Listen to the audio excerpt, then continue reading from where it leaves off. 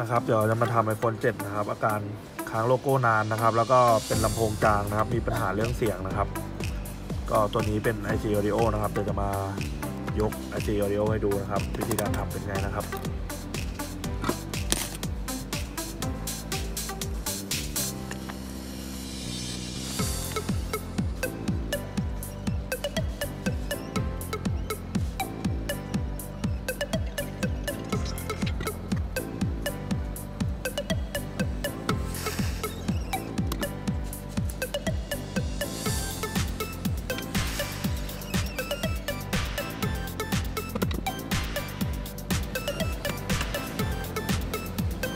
ก็ IC Audio ออกมาแล้วนะครับ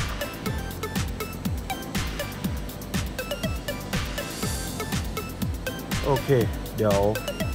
มาดูต่อกันวิธีวางนะครับผม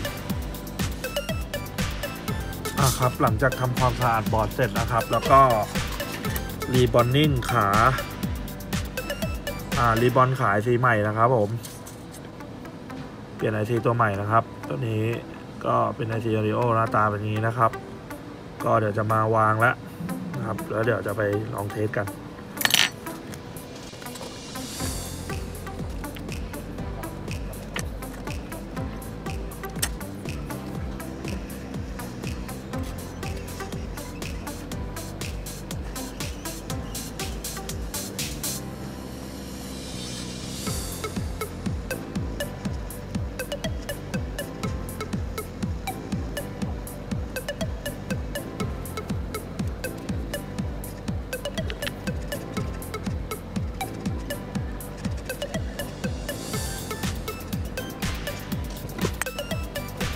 เค เสร็จแล้วเดี๋ยวรอให้มันหายร้อนนะครับ แล้วเดี๋ยวก็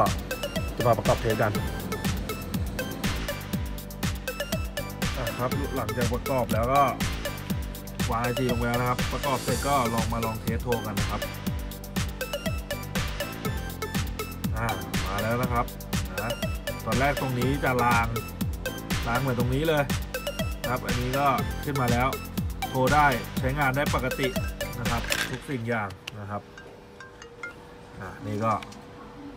ฮัลโหลฮัลโหลฮัลโหลโหลอ่าได้ยินแล้วนะครับฮัลโหลโหลโหลฮัลโหล